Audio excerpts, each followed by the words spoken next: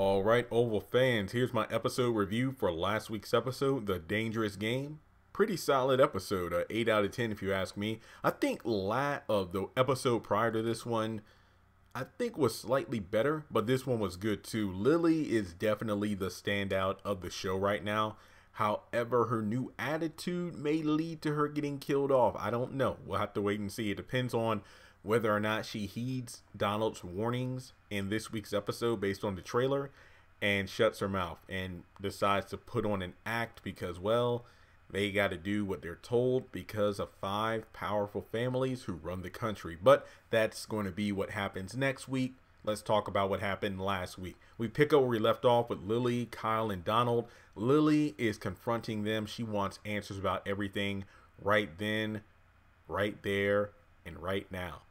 And it gets to the point where she's going to cause a scene. So Kyle puts her in a headlock, and Donald tells him to let her go, but only if, you know, Lily calms down. Basically, we're in a situation where Kyle is feeling up on Donald in front of Lily, and she's obviously disgusted. I don't think it's a matter of homophobia. It's the fact that you're you are literally feeling on my husband in front of me while I'm right here. And I love how after Lily says a couple things, kind of like, oh, that's very homophobic. Child, I work in fashion. You know how many gay people I work with? I have no problem with gay people. It's just the fact that you have the audacity to feel on my husband while his wife is standing right here. And Donald, you got to give props to his actor because while he's staring at his wife, his eyes are getting watery and you can see he's really conflicted with what's going on right then and there. But shout out to Lily for standing her ground. And when Kyle was finally about to leave, she messed up when she's like, Who did the president kill? I'm like, Oh crap.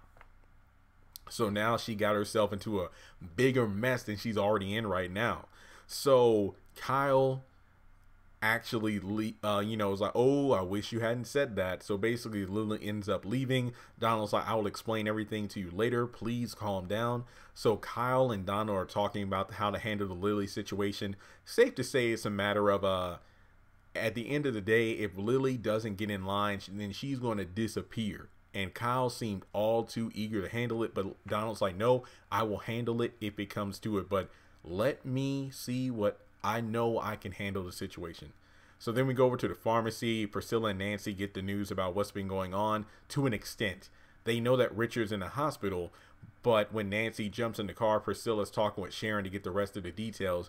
Barry was the one that drove the truck through the pharmacy and he's in jail. So they both know Nancy can't handle so but so much.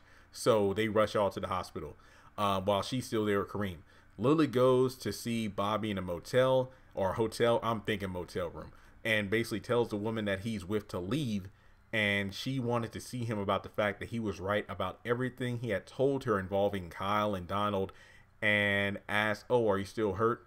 A little bit and then you know he she jumps on him to have sex and then we move on to kareem and sharon uh, i believe it's like the fire chief or whoever telling kareem that hey uh, the structure of the building is still in good condition um, you can ask so and so for a second opinion but i feel like the foundation of it's still good so you wouldn't have to worry about anything collapsing and it comes down to the fact that you know he wants to take sharon home well, well, not home, but basically to Nancy and Richard's house to get the rest of her things. So, because with everything that's going on, she knows it would not be a good idea to stay at that house.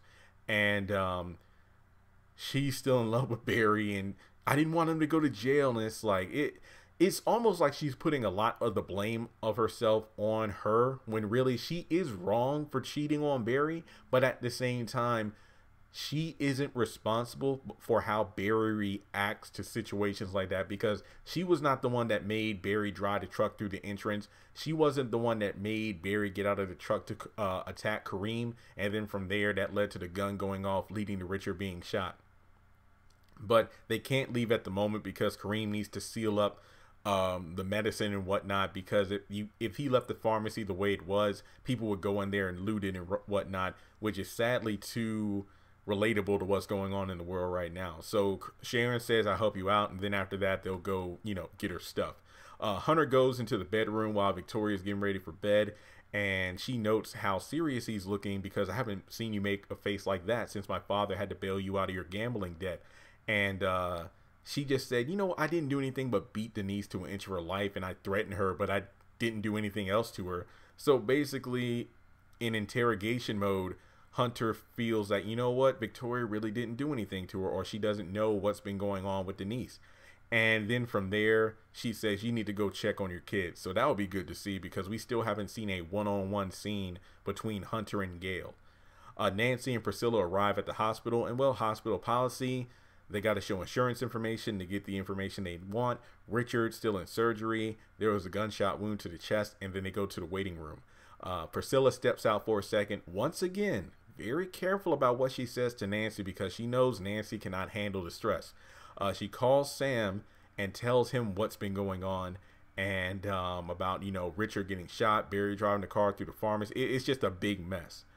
Uh, we go back to the hotel room or motel room, wherever Lily and Bobby are in bed, and she talks about how I don't want you. I just needed to have sex with a man, and basically she wants to go to her house to get her stuff so she can leave Donald. Bobby's like, "Should I go with you?"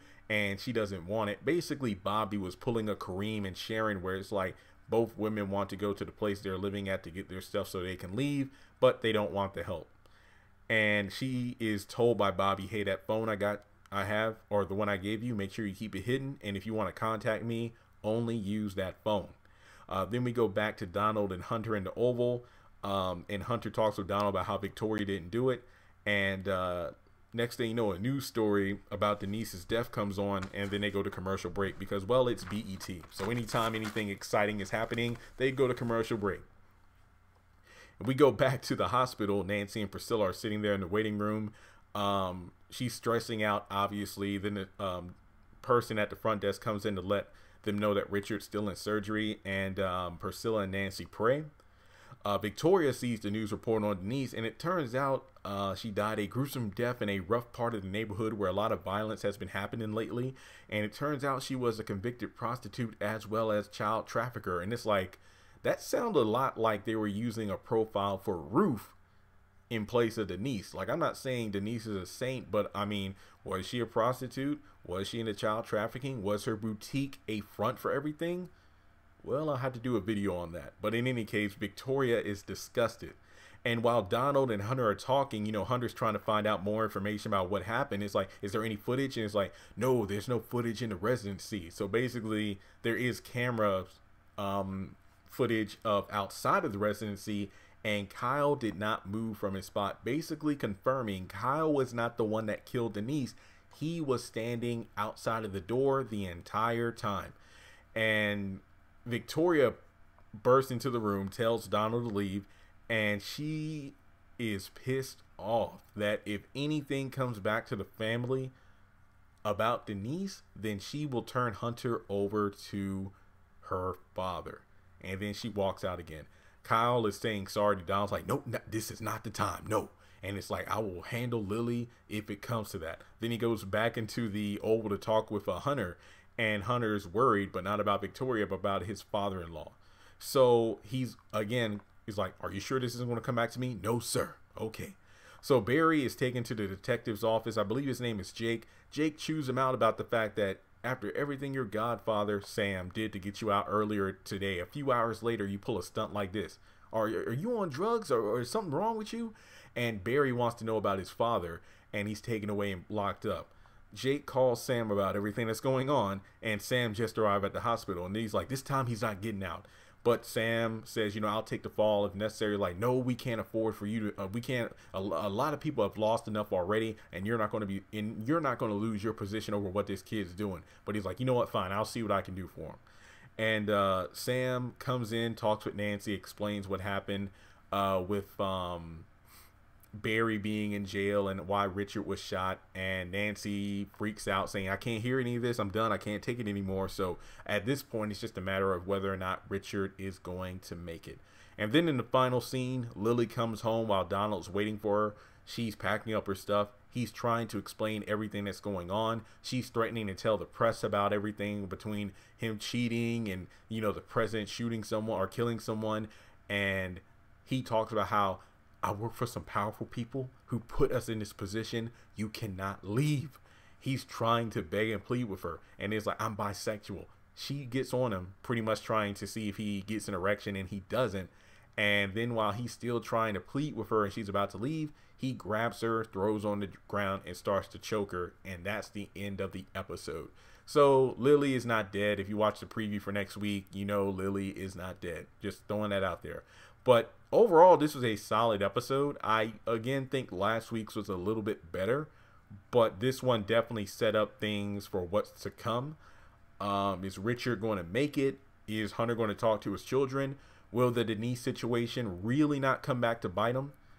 Um, is Lily going to play the act of being Donald's wife for the sake of keeping herself safe? Because, well, as Donald said, you know, if you file for divorce, if you leave, it is not going to be good for you. That's not a threat. That's a promise because these powerful people might end up hurting Donald and Kai. I, I don't know. There's just a lot of people.